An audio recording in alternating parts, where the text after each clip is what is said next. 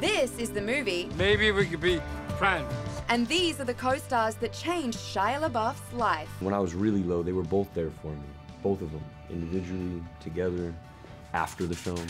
Shia referring to Dakota Johnson and newcomer Zack Gottsagen, who helped him through some tough times. Would you say that doing this film and meeting these guys was kind of like a salvation for you in that yeah, time? Yeah, yeah, yeah. It's really beautiful. I'm looking for a missing person. Have you seen him? The movie in theaters Friday about a young man with Down syndrome, played by Zack, who's on a mission to become a professional wrestler. You need a name. Falcon. Peanut butter Falcon! Going on a crazy road trip with Shia to wrestling camp. Zack, what was the most fun experience that you had? What was the best part of doing this film for you? Oh, I'll say we're on with Shia. Yeah? Yeah.